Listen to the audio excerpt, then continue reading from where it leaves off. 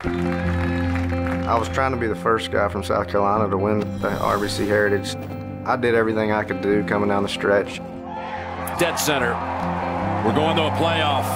I know what his talent level is, but to see him make those clutch putts in that situation, if I just, you know, couldn't be more proud.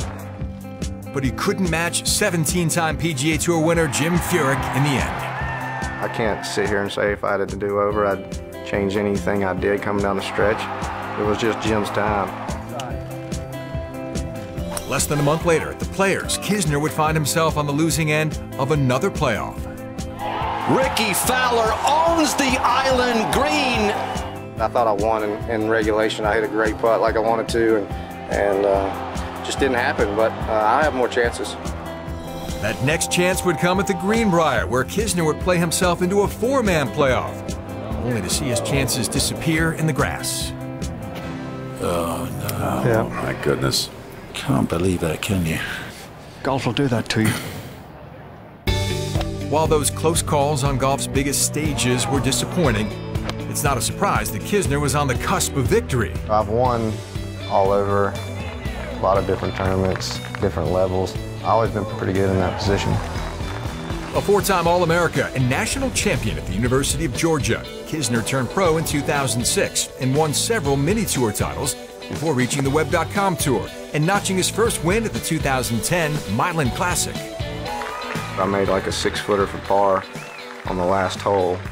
When I got done, my caddy said, if he doesn't birdie 18, you're going to win, and I had no idea. The next thing I know, I'm winner of that tournament.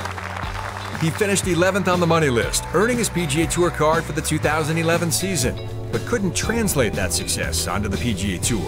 Oh, I struggled really badly on first two years on the PGA Tour. Got my card back through tour school, but still struggled again the second year. In the 2011 and 2012 PGA Tour seasons, Kisner managed only one top 10, making just 20 of 48 cuts, with his best finish in the FedEx Cup coming at 153rd. So it was back to the Web.com Tour in 2013, where he won his third start at the Chile Classic.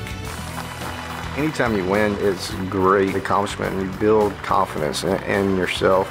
I knew coming down the stretch what I needed to do, and to be able to do it is awesome. That quick start set him up to get his PGA Tour card back, and this time the South Carolinian was ready for the jump. Spent the rest of that year kind of rebuilding my game to get ready. I knew that my ball striking was lacking from my two previous stints on the PGA Tour. And the rebuild to his ball striking is evident, as Kisner has improved in that category each of his four years on tour. As a result, his scoring average has also dropped consistently, with his best mark coming in 2014-15 when he ranked in the top 60 in ball striking and the top 30 in scoring average. I've seen the improvements and uh, I'm just glad to see the benefits of working so hard on it. The time put in showed up last season as he doubled his top 10s from 2013-14, finishing a career best 21st in the FedEx Cup, earning a trip to the Tour Championship by Coca-Cola. What a 12 months for Kevin. And given his past success, Kisner knows that a finish at the top of the leaderboard is well within reach. Stay to your plan and keep going. One of these weeks I'll, I'll make some putts and win one of these tournaments.